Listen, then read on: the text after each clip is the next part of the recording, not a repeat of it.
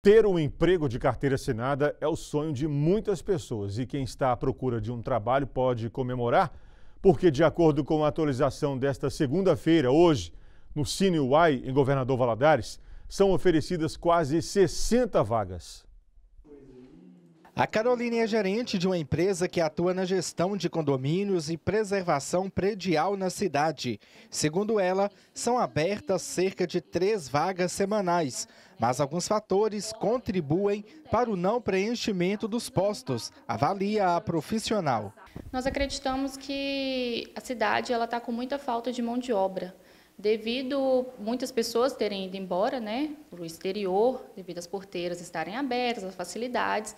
E tem a questão também dos auxílios. Existem muitos benefícios hoje em dia, inclusive nós já entrevistamos diversas pessoas que já falaram. É, ah, para mim trabalhar de carteira assinada, eu vou perder meu auxílio eu posso trabalhar sem carteira assinada? E a gente fala, não, a gente tem que seguir a lei, a pessoa tem que trabalhar de carteira assinada. Uma rede de supermercado em Governador Valadares também está na luta para preencher as quase 100 vagas de empregos disponíveis em várias áreas. Temos diversas áreas, assim como frente de loja, reposição de mercearia, de hortifruti, açougue, frios, padaria. Em todos os setores nós temos oportunidades.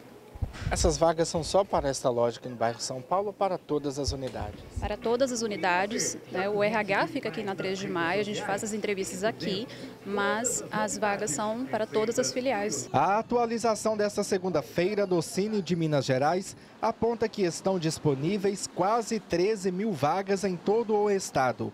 54 delas são para governador Valadares. Por outro lado, quem tem o interesse em entrar para o mercado de trabalho pela primeira vez ou se recolocar deve se ater a algumas orientações. E a pessoa ela se prepare a partir de um bom currículo, né? Então o currículo é a carta de entrada da pessoa num processo seletivo. Então ele precisa ter informações claras que direcione o objetivo daquela pessoa é, essa pessoa ela precisa se preocupar com a qualificação profissional, qual é os cursos, o que, que ela tem ali de possibilidade de buscar de conhecimento dentro desse caminho que ela vai percorrer.